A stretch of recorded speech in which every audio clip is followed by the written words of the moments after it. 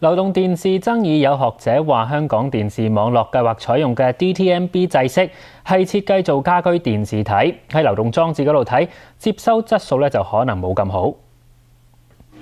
而家免費數碼電視使用 DTMB 制式傳送，幅度調制係六十四框。港視向通訊辦申請用呢個幅度調制嘅 DTMB 制式做流動電視，效果會係點呢？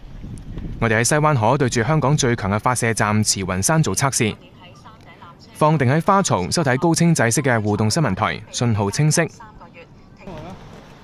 之後我哋放上車嗰度試，未開車仲可以睇到，但係一開車呢，信號就變差。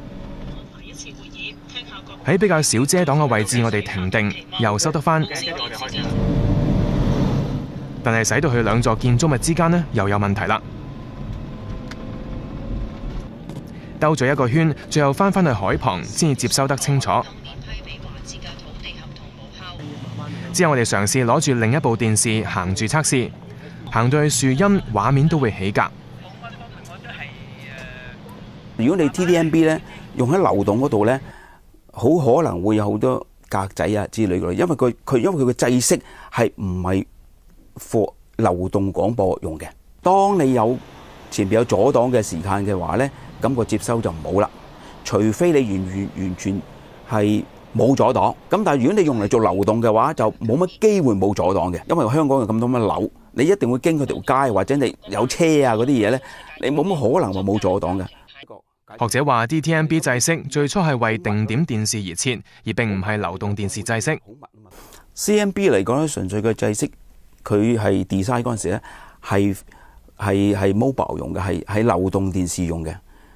啊，而 TDMB 咧，佢 design 嗰時就唔係流動用嘅，係假設性咧，就係你假設咗係嗰個接收器係唔喐嘅，所以即係佢佢佢。Design 呢兩個制式有唔同嘅目標嘅。不過 DTMB 並唔係完全做唔到流動電視，只要調低框數就可以流動接收到。港視申請用六十四框，傳輸量大，足以提供幾條高清頻道。不過壞處呢就係流動接收差。如果降低到使用四框，流動接收會比較好，但係傳輸量比較低。